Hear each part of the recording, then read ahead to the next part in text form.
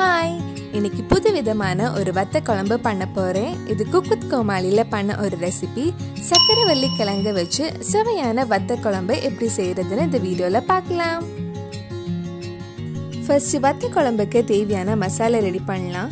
அதுக்கு ஒரு பேன்ல அரை டீஸ்பூன் ஜீரகம் கால் டீஸ்பூன் வெந்தயம் ரெண்டு டீஸ்பூன் முழு மல்லி அரை டீஸ்பூன் நல்ல மிளகு ஒரு டீஸ்பூன் உளுந்தம் பருப்பு ஒரு டீஸ்பூன் துவரம் பருப்பு ஒரு டீஸ்பூன் கடலை பருப்பு அஞ்சு காஞ்ச மிளகாய் எடுத்திருக்கேன்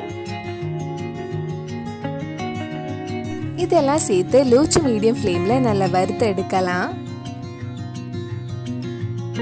இந்த மாதிரி நல்லா வறுத்ததுக்கு அப்புறம் இது ஆஃப் பண்ணிட்டு கொஞ்சம் நேரம் ஆற வச்சிருங்க ஆறினதுக்கப்புறம் இது ஒரு மிக்சி ஜாரில் போட்டு நல்லா பவுடர் பண்ணி எடுக்க போகிறேன்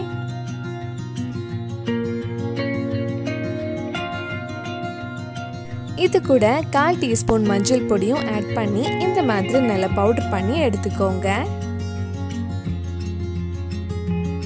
இப்போ ஒரு கடாயில் கொஞ்சம் நல்லெண்ணெய் ஊற்றிருக்கேன் எண்ணெய் சூடானதும் இதில் கொஞ்சம் கடுகு போடலாம். கடுகு வெடிச்சதுக்கப்புறம் இதில் கொஞ்சம் கருவேப்பிலையும் எட்டு பல் பூண்டு சேர்த்து ஒரு ரெண்டு நிமிஷம் வதக்கலாம்.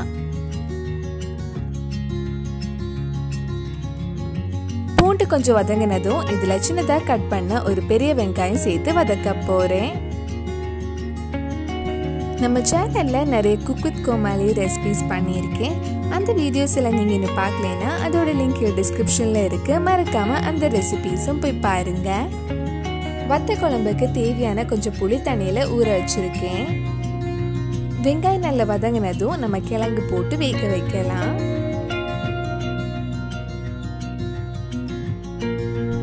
நல்லா வதங்கிடுச்சு. இப்போ இதில் மெல்லிசாக கட் பண்ண சர்க்கரை வெள்ளிக்கிழங்கு நம்ம பவுடர் பண்ண மசாலா கூடவே தேவையான அளவு உப்பு ஆட் பண்ண போகிறேன்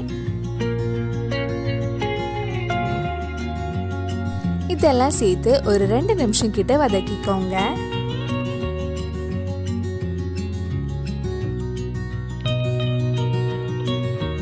ரெண்டு நிமிஷம் வதக்கினதுக்கு அப்புறம் இதில் ரெண்டு கப் கிட்ட தண்ணி ஊற்றி நல்லா மிக்ஸ் பண்ணிட்டு மூடி வச்சு கிழங்கு வேக வைக்கலாம்.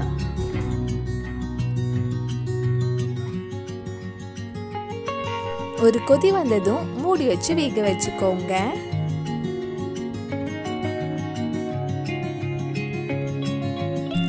கிழங்கு நல்லா வெந்து சாஃப்ட் ஆயிடுச்சு. இனி இதில் புளி தண்ணி கரைச்சி ஊற்றலாம் உங்களுக்கு குழம்புல எவ்வளோ புளிப்பு வேணுமோ அதுக்கேற்ற மாதிரி புளி தண்ணி நீங்கள் ஊற்றிக்கோங்க இது ஒரு வாட்டி மிக்ஸ் பண்ணதுக்கு அப்புறம் இந்த புளிப்பு பேலன்ஸ் பண்ணுறதுக்காக இதில் கொஞ்சமாக சர்க்கரையும் ஆட் பண்ணுறேன் கடைசியாக டேஸ்ட் பார்த்துட்டு தேவைப்பட்டால் கொஞ்சம் உப்பு ஆட் பண்ணிக்கோங்க. இனி குழம்பு நல்லா வத்தி எண்ணெய் நல்லா தெளிஞ்சு வருது வரைக்கும் லோ டு மீடியம் ஃப்ளேமில் குழம்பு வத்த வைக்கலாம். இப்போ குழம்பு கொஞ்சம் கெட்டியாகி கொஞ்சம் வத்தி இருக்க எண்ணெயும் பிரிஞ்சு வந்திருக்க. உங்களுக்கு குழம்பு எவ்வளோ தூரம் வத்த வைக்கணுமோ அந்த அளவுக்கு வத்த வச்சுக்கோங்க.